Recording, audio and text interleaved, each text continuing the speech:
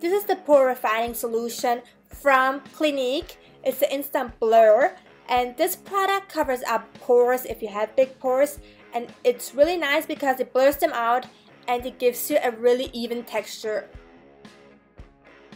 For my eye base, I'm going to use the Insurance Primer from Too Faced.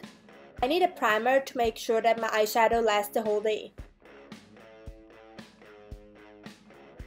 If you are into bold brows, then this eyebrow pencil from Innisfree is the one to have. It's really pigmented and it gives you really nice bold brows.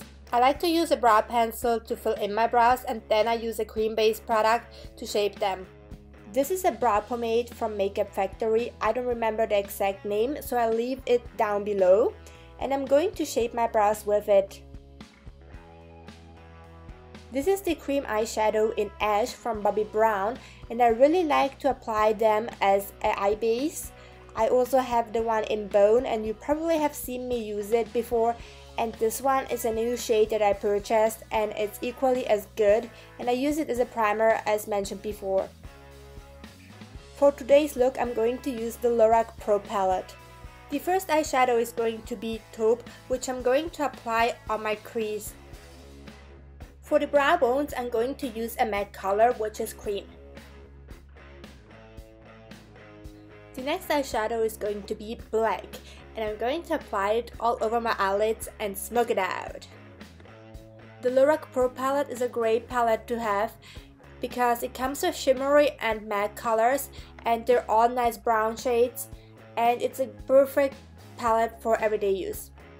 For a nice blend, I'm going to use espresso and apply it on my crease and blend it out.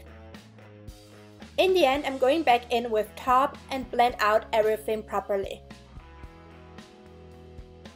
Before I'm moving on with the foundation, I'm going to clean up the under eye area because there might be some eyeshadow fall over.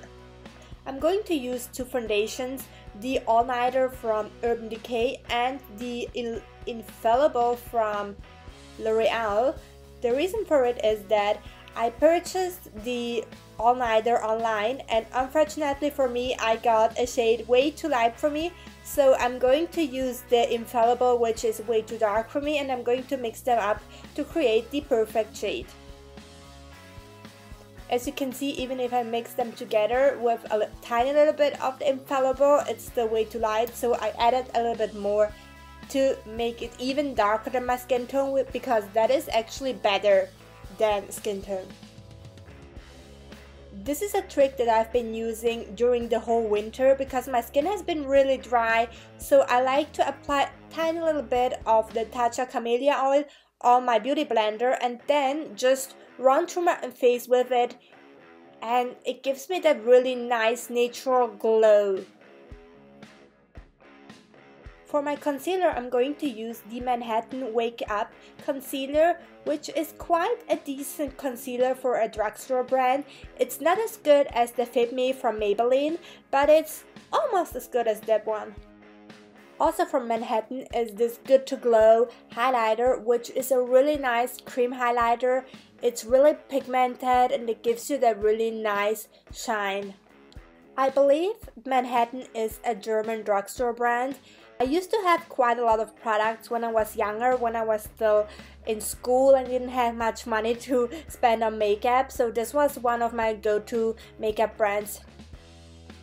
I'm going to set my makeup by applying some powder and this one is the loose powder from Kryolan and I'm going to apply this with a powder quad.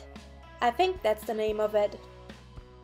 I'm going to tell you a secret, but keep it to yourself, okay? So I accidentally applied two different lashes. One is shorter than the other, but I only noticed it once I already was finished with the whole look. So yeah, that's the secret.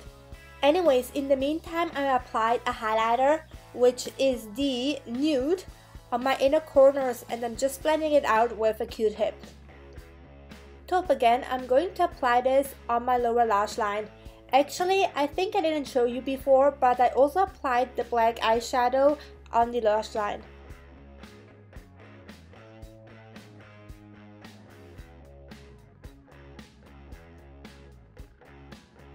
This is my current favorite eyeliner and it's from Deborah Milano. It's the, uh, what is it?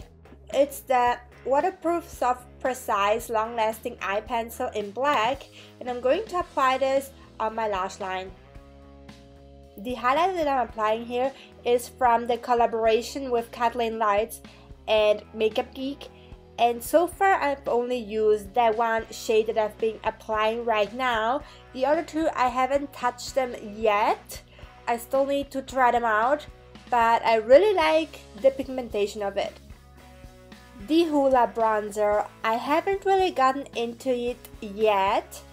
I don't know, maybe I started wrong with it because the first time I applied it on my skin, it I almost looked like an Oompa Loompa and it was horrible, but probably because I took way too much.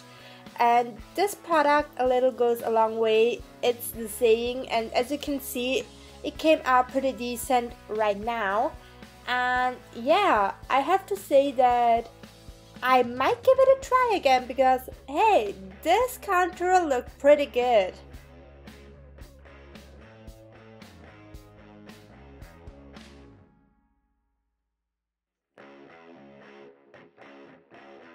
This is a really old blush from Revlon that I own and it's Tawny Peach. Tawny Beach, I can't say that. Anyways, this blush might be expired for years because I have it so long in my collection and I've been trying to use it up and I think it's a really pretty nice peach shade the reason because it's so long in my collection is because I have so many blushes by now that it's impossible for me to uh, even use up all products. This is my current favorite lip liner from Pupa Milano and it's the True Lips in number 06. The reason for it being my favorite is because it gives me really nice plump lips without looking fake and it's a really beautiful shade.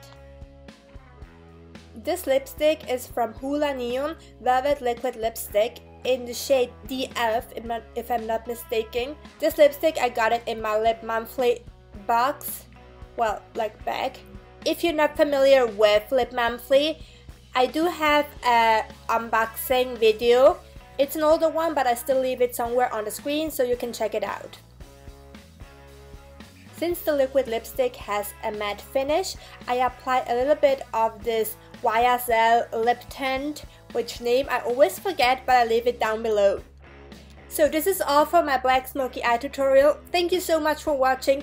If the red button down below is still red, click on it and subscribe and be a part of this family. See you all next time. Bye bye. I just kissed the mic.